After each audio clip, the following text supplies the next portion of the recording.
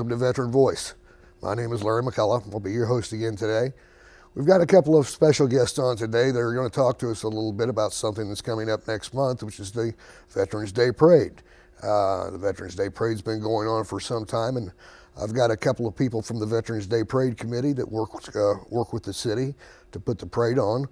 Uh, on the left here is Cindy Byrd. Cindy, Hello. good to have you on the show. I know.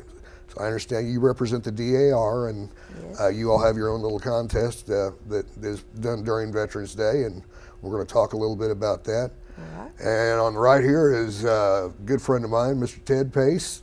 He's the uh, quartermaster over at the Veterans of Foreign Wars, past commander, past about everything. He's done it all, I believe. But uh, he is now the chairman of the Veterans Day Parade, and Ted's going to talk to us a little bit about what's what's going to be going on on November the 11th. Ted, welcome to the program. Well, thank you, Larry. Thank you for having me. I appreciate you all showing up today. Why don't, Ted, why don't you go ahead and start a little bit and uh, give us a little bit of background on, on the parade? I know we were, I cannot remember exactly how many years it's been going. We think it's either 12 or 14. Okay, well, it's my understanding that it's been about 14 years now. I know it was uh, began, it began when Mayor Albert Jones was in office, and there had been one several years before, but for some reason they took a break and didn't do it for a few years, and then we picked it back up. And um, for the last 14 years, it's been been uh, pretty much the same, and the uh, city sponsors it, and it's done through the uh, Paducah Parks and Recreation Department. And these folks offer us a great deal of support. We do have a, a Veterans Day Parade Committee, and Cindy and I are both on it, and, and some seven or eight other members. And we serve in an advisory capacity, if you will, and we kind of tweak the actions, and we make recommendations. But these folks in the uh, Parks Department are the people who actually do the legwork and get the job done. They coordinate it with all the uh, various agencies of the city. They do a good job, and basically we just take it every year, and what didn't work last year, we try to improve that, and what did work, we leave it alone. So it goes very well, and we're, we're very proud to be a part of it. So how often do y'all have your meetings? Uh, once a month or I know that obviously you're probably not having meetings in February or anything to, uh, might be starting a little early, but uh, Actually, we, we have meetings only in like the three months previous to the, to the Veterans Day. And then we have one a month. Um, so actually, we have about three meetings actually before the parade. And if there's something comes up, we'll call a special meeting if, if we need to.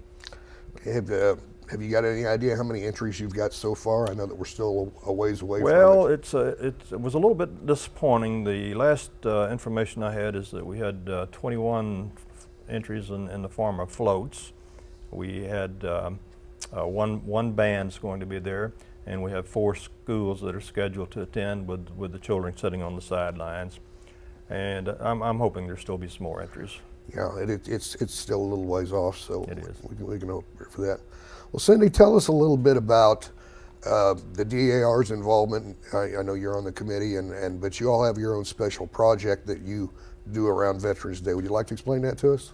Well, it's not really our project. We just assist with it uh, because we're very much interested in education and patriotism. The Daughters of the American Revolution have those two things as, as one of, of the as their, part of their goals, education and patriotism.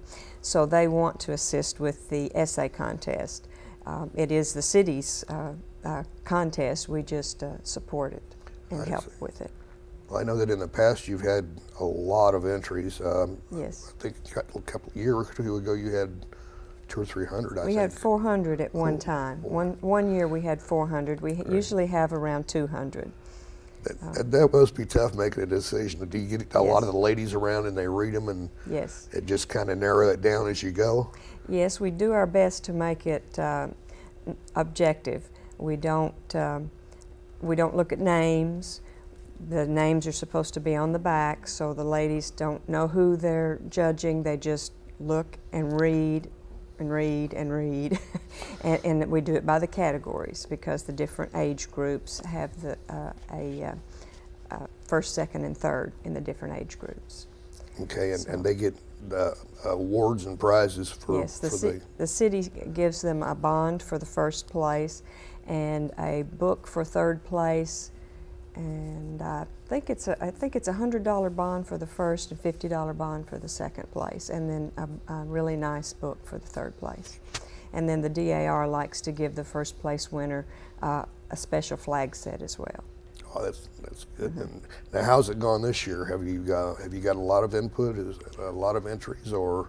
Well, no, not it, not so far, and we don't have that uh, many at this point to look at. But we will be I'm sure getting them in in the next week or so. It's, it's probably a lot like the float situation you're talking about. There's a lot that will wait till the last minute, and yes. with uh, you know with with Halloween coming up and just getting done with Memorial Day and and everything, we're getting into that time of year where everybody has this tendency to procrastinate, and I'm the world's right. worst. I, I admit it but uh, hopefully you'll get some more in. And uh, yes, we expect you, to. Did you bring any today, or yes, or I have several. Okay. I, I, thought you would find them very interesting, especially because of the uh, topic this year.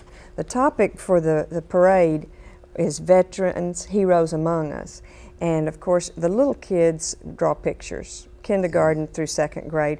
This one is um, supposed to be General Patton so I, I, suppose that's the hero for this child. The little ones were supposed to do Veterans Are Brave because we didn't know if they would understand the hero concept. But the uh, older ones got the hero concept very well. And i would like to read a few comments from them if you don't mind. Sure, sure, go ahead. You, you might find this very interesting. These are ninth graders that, that wrote these. And I'm just going to read little portions out of them, and one of them is just really good, and you'll understand that. Um, it, this one says, Veterans fought for the things so many of us take for granted every day. In the United States, we can make our own choices and decisions about our lives, but we would have never had that freedom without our veterans. There are certain things, such as jury duty and paying taxes, which all citizens are required to do. They are not difficult things, however, Americans complain about having to do them. Veterans choose on their own to fight for their country and take pride in doing it. So that that's just one. That's uh, what grade? What this grade? Is ninth that's grade. ninth grade. Okay. These are these are all ninth grades all okay. that, that, I'm going to read. So they're because they they understand the topic heroes among us very mm-hmm. well, and you'll see that as I go along. This next one says, It is one thing to be willing to die for our country.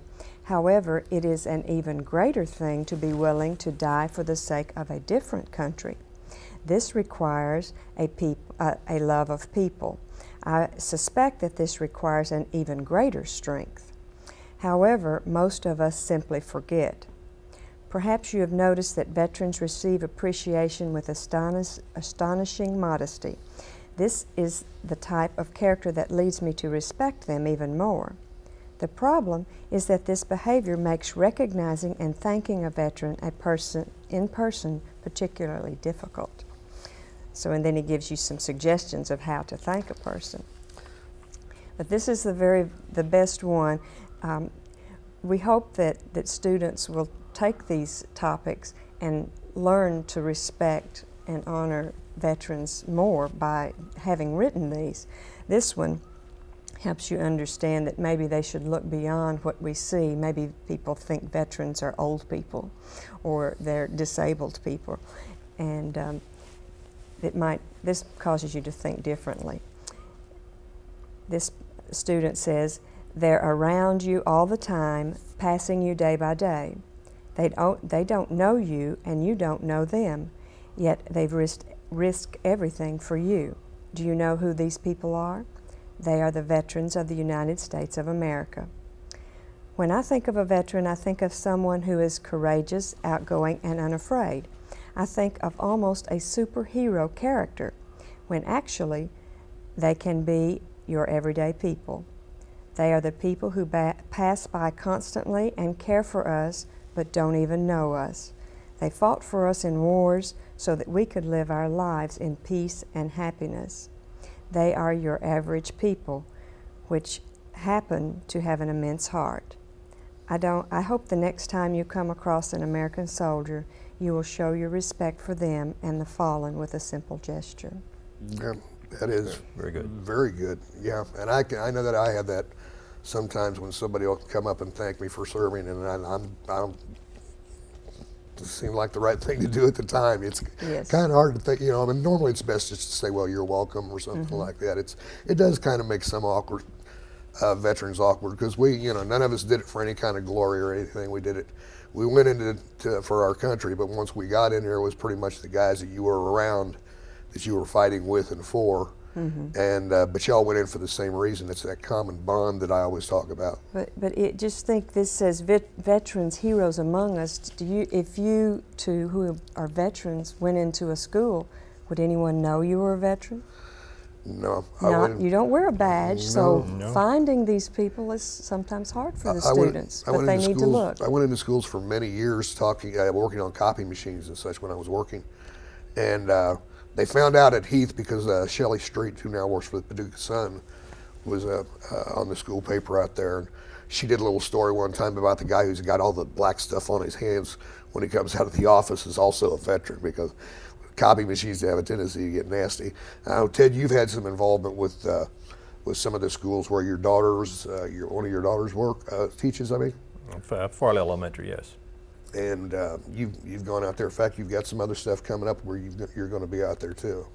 Uh, we, we are, well, let, let me back up a little bit. The state of Kentucky uh, had previously, in years gone by, they had mandated that a, a uh, period of instruction be taught to high school students uh, within a day to five days before Veterans Day. Now they've expanded it to, to uh, include all students. And so my daughter teaches at Farley Elementary. Uh, she teaches third grade. And um, uh, she asked me if I would come out there and, and do a presentation. And uh, we're going to, I don't know the exact date now. Again, the mandate is uh, one to five days before Veterans Days. So we'll break it down into two groups. We'll have a kindergarten through second grade, and then we'll have a third through fifth grade, and we'll gear it toward these people. And she and I together will will do a presentation and um, hopefully uh, give the children some understanding of what Veteran Day is all about. You know, and I think that's good. It's a good idea. They they need to understand, it, and as is obvious in the uh, the writings of the ninth grader, they've got pretty good vocabulary there. A couple of those words I'd have had to look up how to spell. I'll be honest with you, but Well, but they're on uh, a computer, so they probably did. ah, that that always helps. The, the Spell- modern spell check is wonderful. Spell check is wonderful, Yes. isn't it? Yes. If I could just turn out, turn, Right. figure out how to turn mine on, I'd be in better shape. Ted, tell us a little more about the parade. I'm, I'm hopeful that, that we'll get more people involved and more more uh, entries as the time goes by. But, Well, I uh, think I think we certainly will. You know, there's uh, you and I are active in a number of uh, fraternal organizations, veterans fraternal organization, and invariably there's the guy that said, "Well, I thought somebody took care of it, and I thought somebody took care of it. In the end, nobody took care of it." And and so we'll have some last minute entries, and then we'll have some that simply show up and nobody turned in the paperwork. So. Uh, I said 21 or 22, but I really expect considerably more than that, and uh, uh, that it will happen. It will be better, and and I hope certainly there'll be more than one band involved. I, I, that would that would surprise me if, we, if we don't hear from the others Yeah. because I know in years past that's been a big a big part of the parade. I mean that's what people expect in a is to hear the bands and, and the students, the high school bands always do an outstanding job. Well, you know, I know the uh, school again, Farley Elementary. They're going to bring uh, 550 students to to uh, uh, set along two city blocks, and you know, it's a it's a logistic. Uh, undertaking to transport that many students, and particularly with the economy that we've got now, um, just to haul 550 students, uh, it's only it's uh, maybe three or four miles, but it's a lot of dollars involved, gas gas wise, and paying the personnel to drive the buses, and on and on and on. And so the economy could certainly be having an impact on, on the number of entries we don't have. It seems like the, the economy is affecting a lot of things right now. It's Wall Street on its uh, had has a roller coaster ride, and a lot of people are, are, are very pessimistic, and, and it's it's hard not to be that way. But uh, hopefully, it won't affect some of the things like this. This is uh, you know Veterans Day is our day, as, as you and I like to like to say, and we always you know we're always glad to see the students out there because they got a lot of flags. Uh, did y'all get flags to pass out to the children this year, or are the schools The, taking care the, of uh, that? the Parks Department has, uh, has gotten 3,000 flags to pass out. My goodness. And uh, they personally deliver them to the schools that request them. And I have already put an order for 550 for Farley, and, and that you know to Pat Earl, so I'll know it'll be I know it'll be taken care of. Yes. And um, yeah, it's very generous to the city. Even those things are maybe 30, 35 cents a piece, but when you multiply that time 3,000, you get into get into a few dollars. Yes. Oh, yes. And so it's a very generous thing for the city to do, and we do appreciate it. Well, like you say, Parks and Recreation from the beginning has always done uh, a wonderful job of. Uh, Yes. I, you know, I was on the committee at one time, and, and the veterans that are on the committee come up with, with certain ideas, and it's like you said, what works with you, you keep doing, and what needs tweaked, then you, you, you try to find out a good way to do it. And uh, I presume that most of the things are going to be pretty much the same this year as they as uh, as they have been in the past, with a, few little exceptions.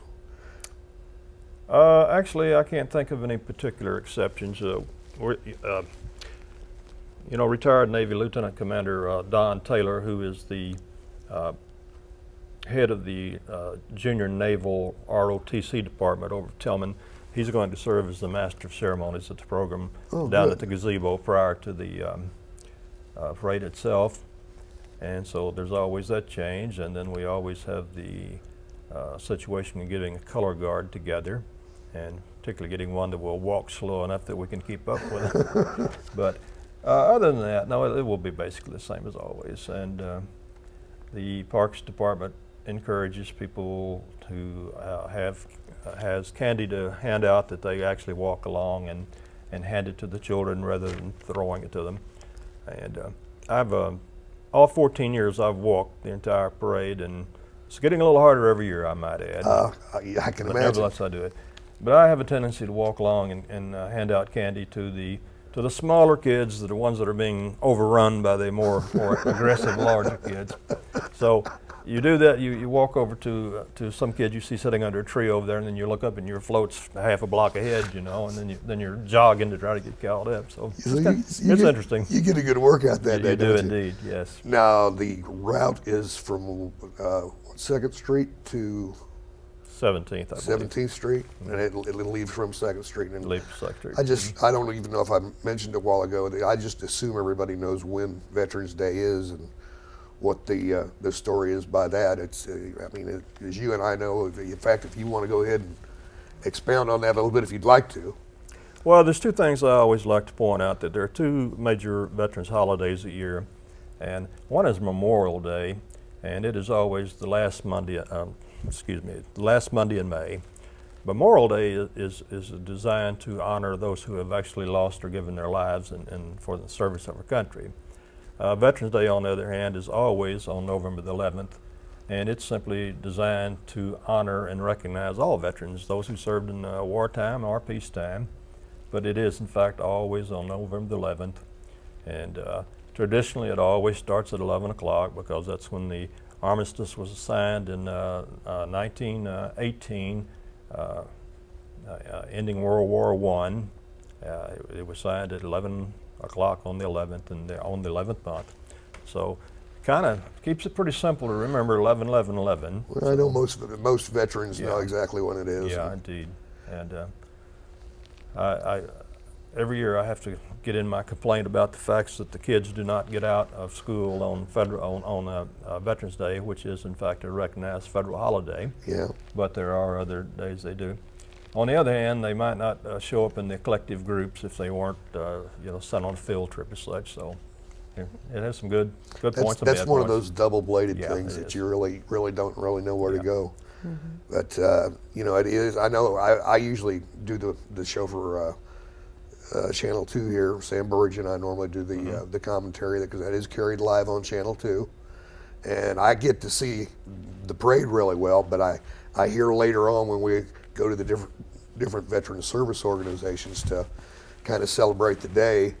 Uh, I hear stories about uh, guys that get a little lump in their throat when they're between Second Street and say Fourth or Fifth Street with all the Yeah. all the children there, and they're all waving flags and saying thank you. And I know some pretty guys, str- uh, pretty strong guys that have a tendency to well up just a little bit, you Sure, know, and, sure. and, and it's nice. I, it's nice. I think, uh, and it's only fair that we honor veterans once a year. Uh, I mean, it should be honored more often, uh, but uh, at least that's our day. I've always thought it was terrible. I had to take a day of vacation because most uh, most businesses don't allow Veterans Day as a, as a legal holiday, and I'd use day of vacation to get uh, get away for that. But I always enjoyed doing it.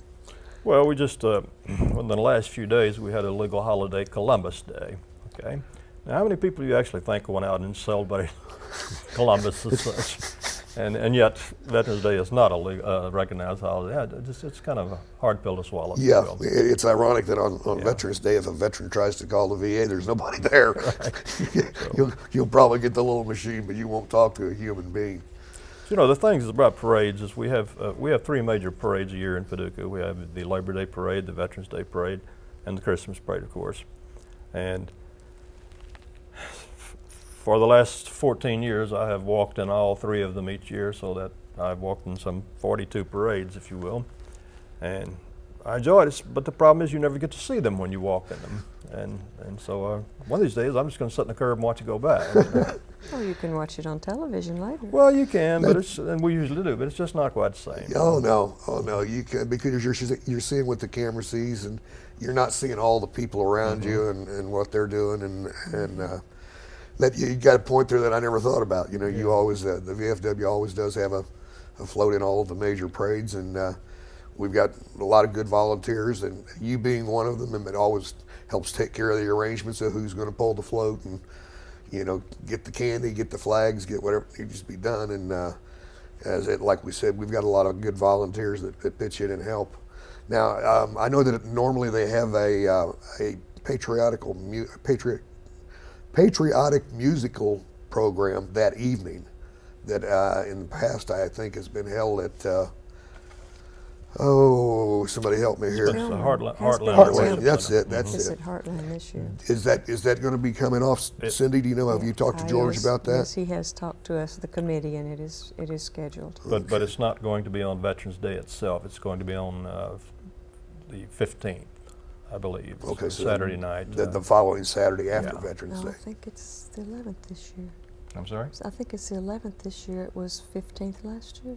That's not the, Oh, Okay, that's not what I'm George sorry. told me. I'm Okay. sorry. Uh, So uh, perhaps we don't know the exact it date. Well, I'm sure that'll Yeah. that'll be in the paper, and we'll talk Mhm. about that on the uh, during the parade also Mm-hmm. about when that's going to be going on. And as I understand, that usually I've been out there a couple of times. Always a good uh, a good musical program, It's a great program. and uh, Great and a, and, a, and a very good turnout. Every year Mm-hmm. it seems to get better and better. Of course, you know, George Burgos uh, gets it together, and, and, and like most people, uh, if you get something together, you tend to do what you like. George likes the big band music from World War II, and, uh, and uh, that's basically what the program's composed of, but it's a very entertaining and, and a very nice evening. And I'm personally uh, saddened that more veterans do not come out and attend it. Yeah, I understand what you mean. Uh, it's I think by that time of the day, a lot of people are getting getting worn down and tired and In any event, the exact date will be, be in the papers. So. Okay, good. And um, we're getting down about the last five minutes or so. There's and I- there's always something that we forget to talk about, inevitably when I'm doing this show. Cindy, is there anything you'd like to say before we run out of time? Just anything at all, other than encouraging the, the children to to get involved and thank veterans and, and come out to the parade. And, and that's pretty much what the essay does. It, it makes them think about it so that they may learn to do so in the future. And uh, they will, of course, be at the, we will call the winners, and they'll get to be at the gazebo to read the first place essays and receive their awards. That's great. So the so the actual ceremonies are going to start about 10:30 that morning About 10:30. down at uh, at the gazebo. Yes. And uh, normally, I know that they've got coffee and donuts down there, so we encourage the veterans. The only thing that's usually up in the air when Veterans Day comes is the weather, and I can remember doing it in the on some very very nice days and on some very very nasty days. But uh, normally, it, we plan to go. Most veterans feel like they've been wet before; they've been rained on and fought through. Always been in a lot worse shape than this. So. Uh, hopefully we will have a good turnout of veterans and uh, and people on the side so that they can just take a take a little bit of time that day to, to call a veteran or, or especially come to the parade and show their patriotism, which I think is going real strong right now with Uh, the, absolutely. the situation. I know that a lot of people are getting frustrated with the length of uh, of the war that we're in in the Middle East right now, and I can understand their frustration. But uh, the young men and women, as a matter of fact, uh, we're going to be having a party soon for a fellow who's coming back at uh, there at the VFW, and and uh, we we always try. I think everyone should make sure they thank these men and women they, when they come home. They're living under some very dangerous and very awkward situations, uh, and some of them on their third and fourth tours. And uh, the- these are guys that need to be honored too. I mean, even though they're still on active duty, they're a veteran of a war, Sure and, they and they they need to uh, they need to the people need Be to appreciate that. Yes, and um, that's one of the things that I wanted to make sure I brought up today is that I know that there's a lot of Iraqi and Afghanistan veterans out there. I know there's a lot of Desert Storm veterans out there that uh, may or may not come to the parade, and for for whatever reason they might have. I would really encourage them. You know, this is the one day of the year that we get recognition. It's like you said, while that the, the letter said a while ago. A lot of guys they're just like, "Gosh, don't worry about it," and and don't- quite know how to accept the thank you that the public's trying to give them. And uh, so I would encourage any of the guys that are between tours or, uh, or even are still on active duty, if they'd come on out and join us in the parade, we'd love to have them. Uh, you And know, we'd love to appreciate them. well, we, you know, I, I, I'm glad that uh, that the parade has continued to go all this time, and I suppose as long as there's a decent turnout of veterans and of uh, of uh, spectators, that it will continue. I think it probably will, and uh, I'd like to uh, say one final thing. Uh, I assume this show is going to be shown several times between now and Veterans Day, and so anyone out there who would like to uh, have an entry, well, please, please uh, call the Parks and uh, Recreation Department there. There's still plenty of time to get your entry in, and uh, Right. we'll, we'll certainly make room for you. We'll, we'll make it as long as it needs to be. The longer, the better. Sometimes you just got to kind of adjust things at the end, but uh, I know that we they're good at doing that. that. Oh yes, yes. The uh, uh, plus the the ambassadors for the city with their red jackets are always down there helping direct people on where they're supposed to be, and most times it comes off real, real good. So, uh, Cindy, I want to thank you for coming out and and all the hard work that you ladies do to to read through all those and then try to get them all narrowed down to. it- It's got to be a monumental task. We enjoy it. But uh, we appreciate your participation in doing it. Ted, uh, congratulations on another year as, as uh, the chairman of the committee. I think you're, you're doing a fine job. Thank you. I think things are going to work out real well. And uh, I know I'm looking forward to the parade. I'm going to pray for good weather, and we'll hope that my prayers are heard. And whatever happens, we're still going to have a parade. And, then we're, as I like to say to, to all the guys, boys, this is our day. Let's have a little bit of fun. So It'll be great, whatever it is. there you go. So thank both of you for coming on the program today. I appreciate it. If you're seeing this, please come out and watch the parade. And if you're a veteran or if you're on active duty, please come out and participate in the parade. We'll find a float or something to put you on, unicycle, bicycle. We'll find some way to get you in that parade. But I want to thank you all for tuning in today. Don't forget about Veterans Day, and we'll see you next time on Veteran Voice.